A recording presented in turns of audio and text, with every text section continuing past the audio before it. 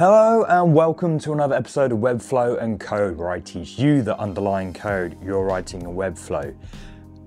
I've got merch, kind of.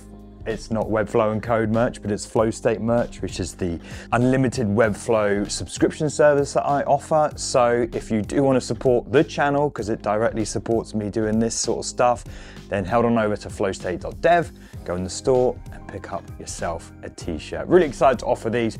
Quite reserved. I don't like big, bold designs. You've got like Flow State written on the back there. You know, I like quite cool designs. So there you go.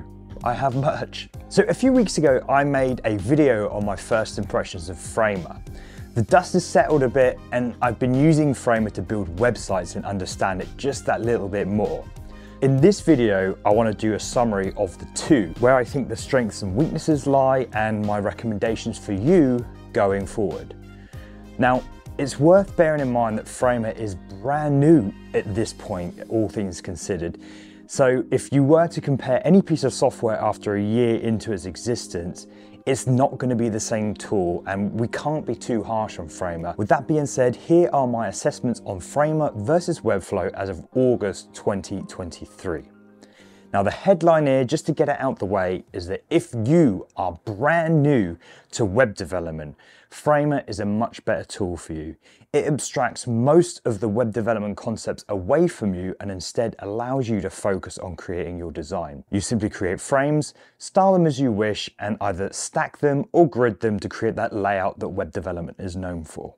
If you already know Webflow, I'd be hesitant to transfer because Webflow is a much more advanced tool and you will likely know web development concepts like classes, HTML, and JavaScript. Now with that out the way, let's dig in just a little bit more because there are some things you might want to consider that will determine which tool is right for you. The main one being Framer's integration with Figma. I think this is exactly where Framer really wants you to advance to. If you're happy building a website with Framer's pre-built components or you're happy to work with basic designs, then stay within Framer. However, if you want to build more advanced websites that come close to the sort of websites Webflow is capable of, then you're likely going to want to export your designs built in Figma with auto layout. And the auto layout thing is very important for this thing to work. In a sentence, if you're more comfortable with Figma, then you might want to consider Framer.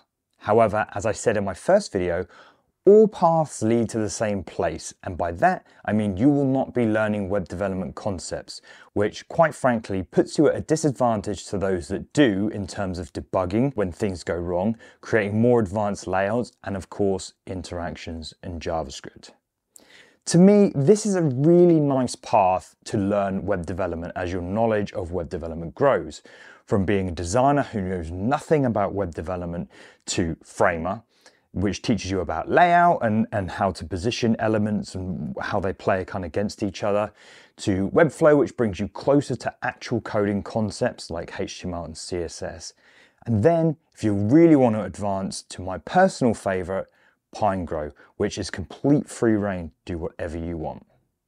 So once again, if you know nothing about web development or you don't intend on learning anything about web development, whether that's you want to live in Figma or you're happy building basic websites, then Framer is your guy. But if you want to build more advanced websites and become better at web development or already know Webflow, then stick with Webflow. To me, there's no incentive at this current moment to switch from Webflow to Framer unless you're an advanced Figma user who has mastered auto layout, variables, and has really clean projects.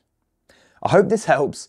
Let me know down in the comments if you agree or if you have anything to add. If you are interested in using either of these services, then consider using the links in my description as it helps me out a lot. Oh, and before you go, consider signing up to my Discord. I'll leave a link below.